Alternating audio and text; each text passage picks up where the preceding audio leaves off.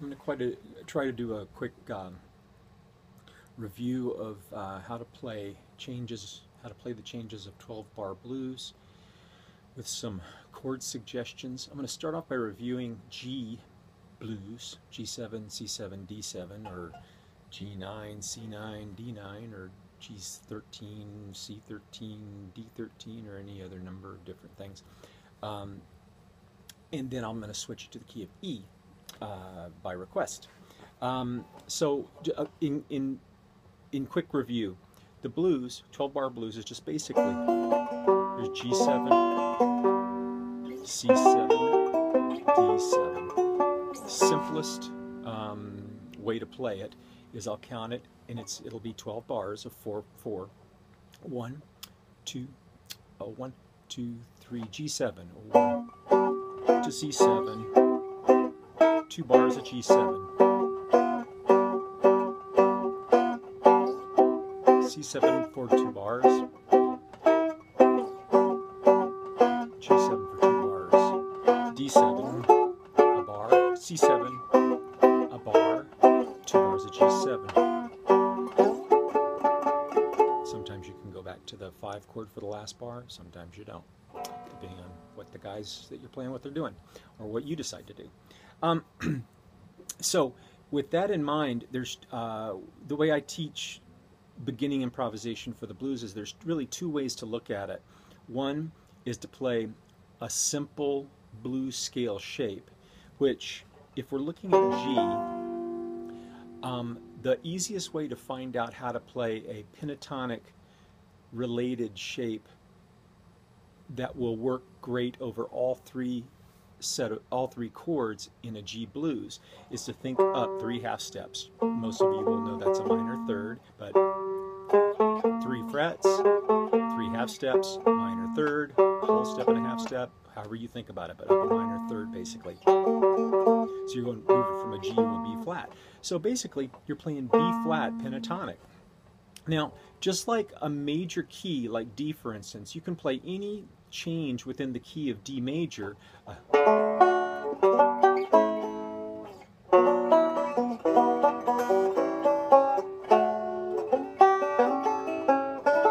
now, if you play D major and you play a D major pentatonic set of changes, and I'm, I'm not going to review the pentatonics right this second, but I've done videos on those before, you can play any melodic idea using those pentatonic shapes, combinations of them, anything, and it works over every chord in the key of D, in the key of D major, not D blues, not some off chord like a C major.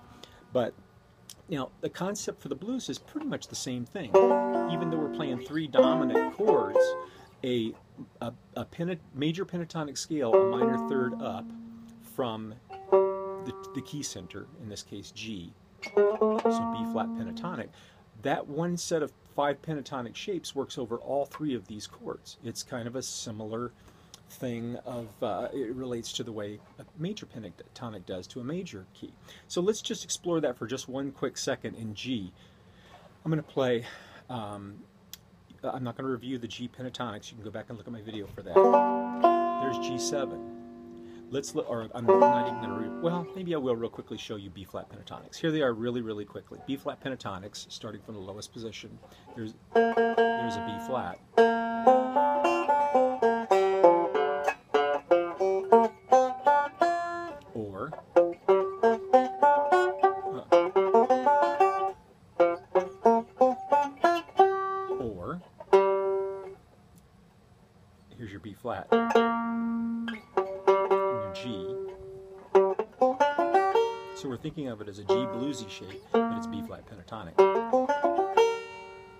There's your G and your B flat.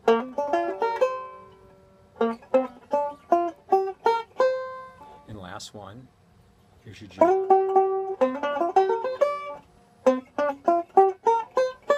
So those shapes work over all three changes of a, a G, G blues. So let's check out those three changes just for a second.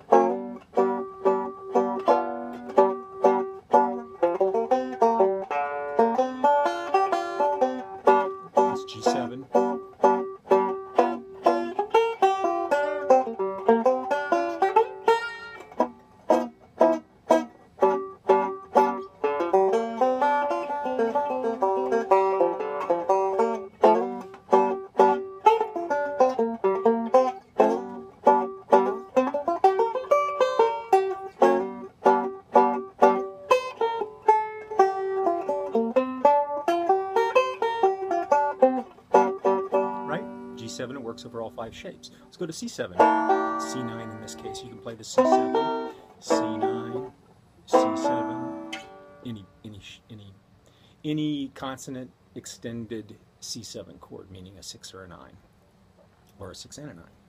Um, so here's your C9.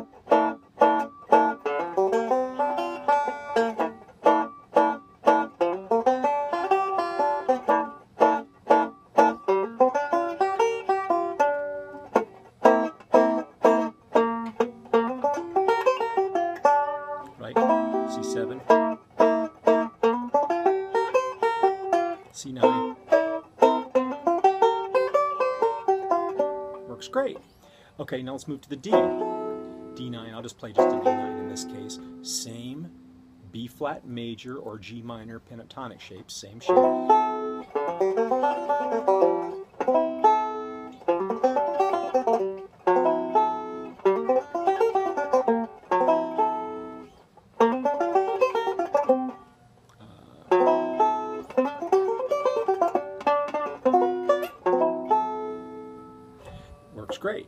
So once again, that's that's kind of improv one. Um, a minor, a, a, pentatonic, major pentatonic scale, a minor third up from your blues, 12 bar blues changes, tonal center. All right, here's here's two.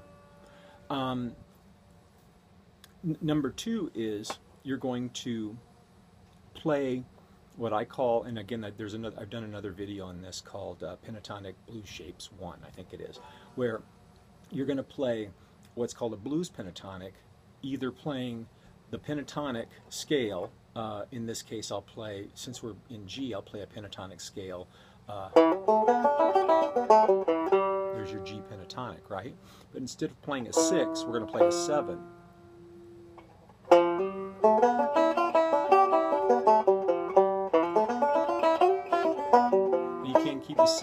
Six in, there too is great. I mean, but now, now it's no longer a pentatonic scale. It's got six notes, but it's the same type of idea. It's shapes. Um, if you just change the each pentatonic scale, change the six into a seven, which again that prior video explains a little more detail, you get you get um, dominant shapes. Well, in this case, you play a dominant pentatonic for each change. C dominant, uh, G dominant pentatonic.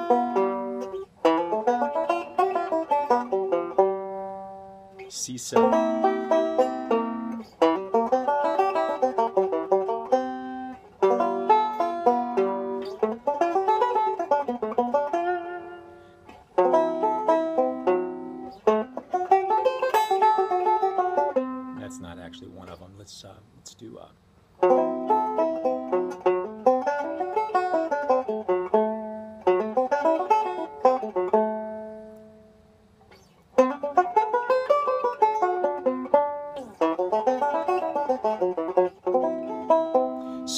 Actually playing the changes really quickly. G, G, uh, G7.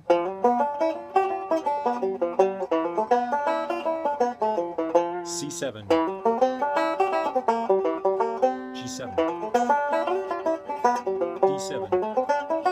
C7. So there you go. So you've got, um, you can hear the changes more clearly.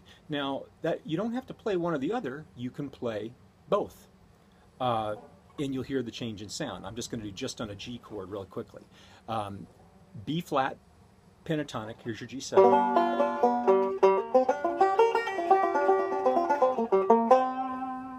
Now, uh, switching it to a G dominant pentatonic scale. So here that might sound like this. Here's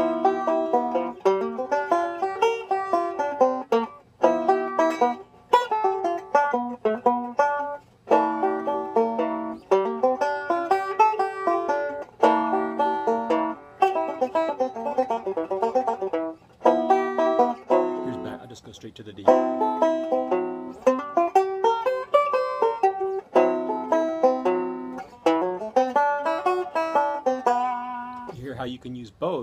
together to create interesting lines.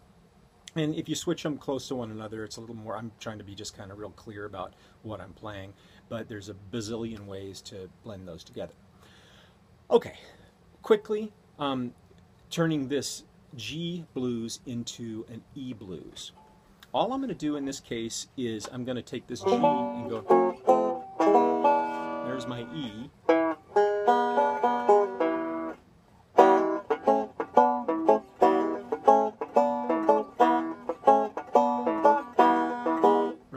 So basically I'm just playing an E7.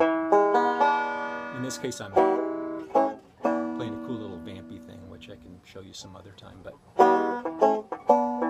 Now you can take that up a fourth and play. There's your A7.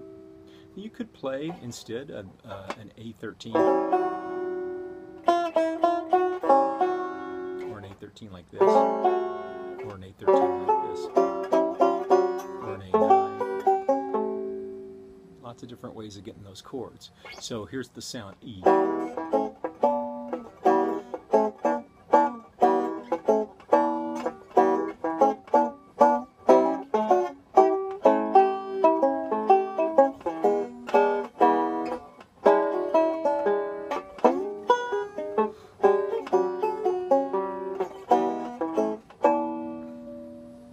Okay, so that's using a using a, a E7.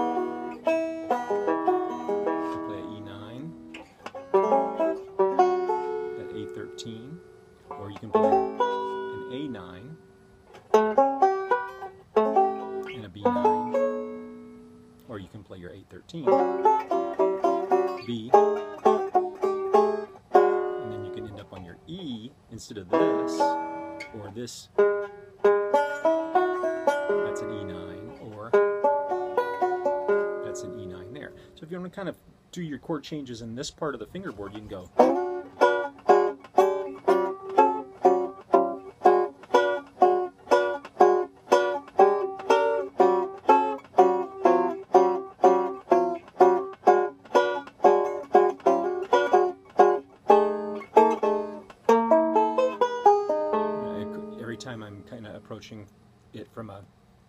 step above for theoretical reasons I won't explain, but it's uh, tritone sub.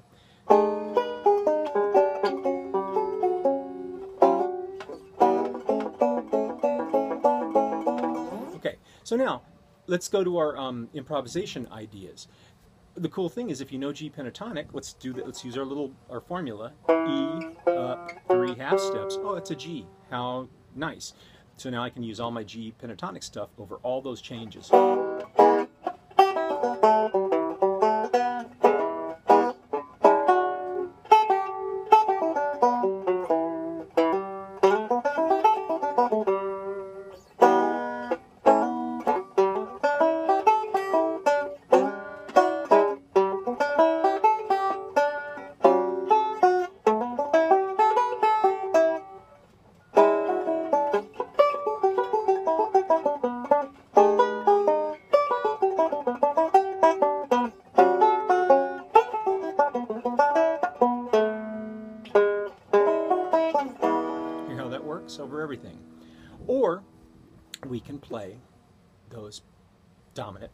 Shapes. E7, I might use that E.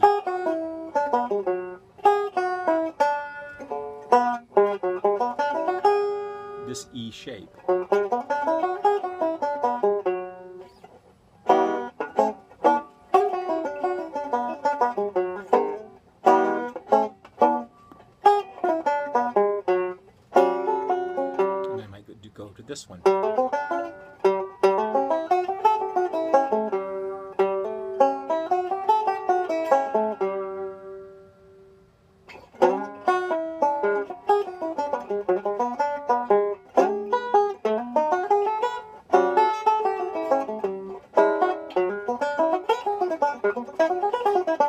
So there you go. So again, your shapes are all those dominant pentatonic shapes.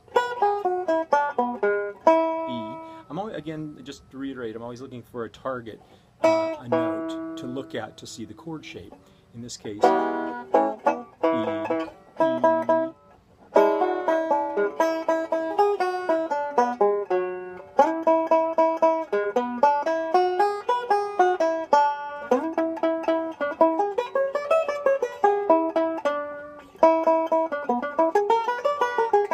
Odd one. it's a dominant with a sharp 4. That's your E. That's a great one to use as the half step above dominant chord sliding into any chord that you're headed towards. In other words, if let's say I was headed towards an A7, we get E. Now we're going to go to this A7, but I'm going to do it. I'm going to go to a B, B flat 7, and use that shape I just used.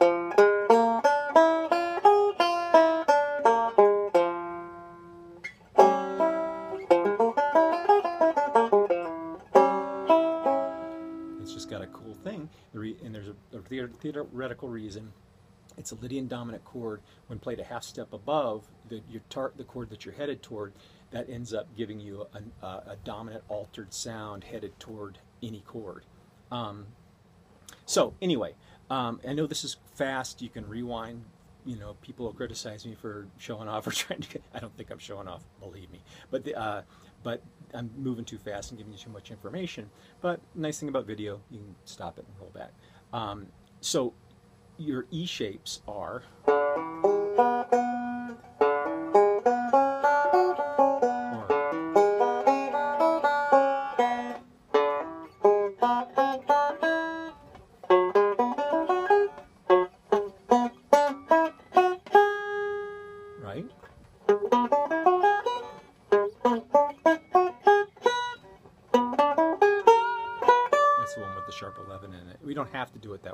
It's a great way. And then, which is just an octave above the one down there. Now, again, those go to the A chord, A7 chord, or to the B7 chord. Um, quick little addendum, because I'm under 20 minutes, is that when I think the blues, even if I'm playing those basic rudimentary shapes, um, again, I'll do it in, in E. If I'm playing G pentatonic,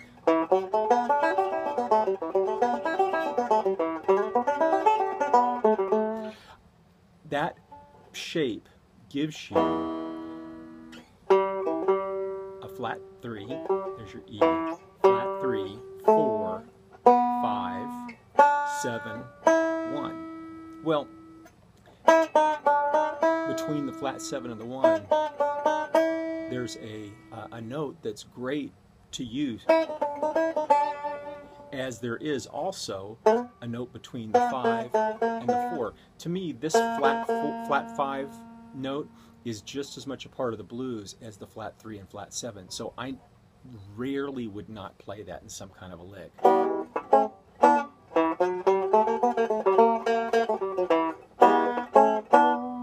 So there's there's that. And again, these are just blues scales. There are other note sets and or scales that work great for this type of thing. Um, one of the um, uh, cool things about the blues is that if you're playing that kind of a sound, a uh, diminished scale also works great on that.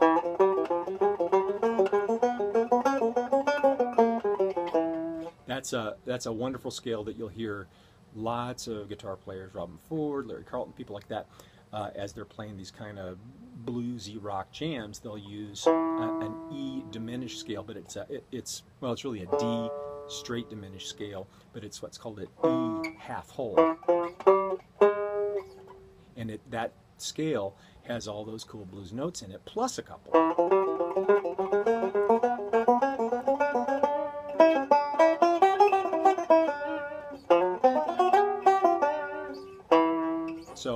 It's um, we can go more into that some other day, but food for thought. Um, and again, sometimes just by saying things like this, you get a little perk and you go figure it out for yourself. I hope that's the case. Um, long lesson, but I hope this helps you explore e blues.